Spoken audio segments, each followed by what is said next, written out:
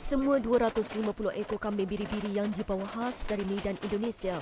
Program ini hasil sumbangan pelbagai pihak termasuk Pejabat Menteri Besar Johor, Ahli Parlimen Pulai, syarikat swasta dari Brunei dan Singapura. Selain kambing, tujuh ekor lembu akan turut dikorbankan hasil sumbangan beberapa individu.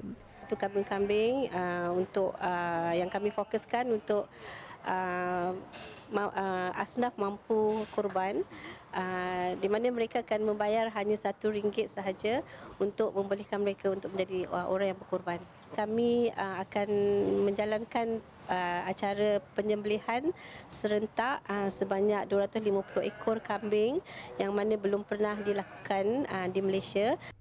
Jawatan Kuasa Pemilihan membuat saringan yang ketat terhadap asnaf yang ingin menyertai program berkenaan bagi memastikan mereka benar-benar layak menyertai program itu.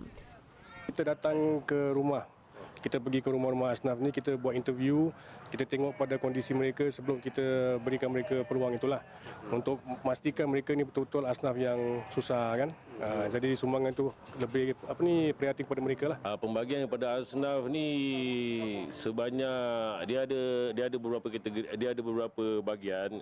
140 ekor 140 ekor tu adalah penerima, penerima eh, apa, uh, peserta-peserta korban individu dan selebihnya itu datang daripada korporat-korporat uh, termasuk Don uh, termasuk Parlimen Pulai, Don Peling dan uh, ahli-ahli NGO yang lain yang mana uh, korban tu akan kami-kami itu akan diakad kepada asnaf asnaf dan asnaf membayar sebanyak satu ringgit kepada kepada uh, penganjur. Program penyembelihan serentak itu akan disaksikan oleh Wakil Malaysian Book of Records.